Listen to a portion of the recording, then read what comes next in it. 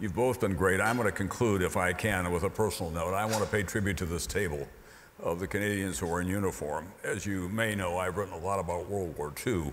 Yes. And I always remind Americans, they were there before we were, and they took a terrible hit at Dieppe, and they were landing on D-Day. And wherever I go in the combat zones of the world, I look for the Canadians. I know they're going to be friendly, and they're going to be protective, and I can find sanctuary.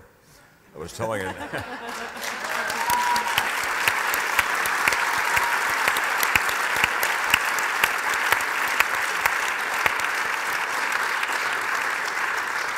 On the other hand, you also look for the French just to get their rations because they really have the best food. But I did tell a story I want to share with, with you tonight. I met a naval commander here and I said that I did a documentary on the USS Stennis, which is one of our great aircraft carriers in the Arabian Sea, when things were really heating up in Afghanistan. And I was helped and persuaded them to let me go up in an F 14 for an eight hour mission out over Afghanistan, land back. And he said, Now I want you to go and visit the ship of our best friends. A Canadian destroyer is leading the way for us. They, they really plot the line in the morning, and the Canadian destroyer was out there. So I went out to the Canadian destroyer, and I couldn't get the crew off there. They were having the best time of their lives. The problem was we couldn't use a lot of the footage because of the language of the Canadian destroyer.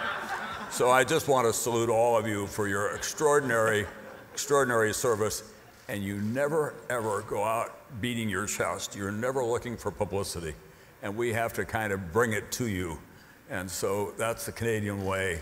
And it's part of the reason that I am so extraordinarily fond of this country. And I thank you all very much, and the ambassador and the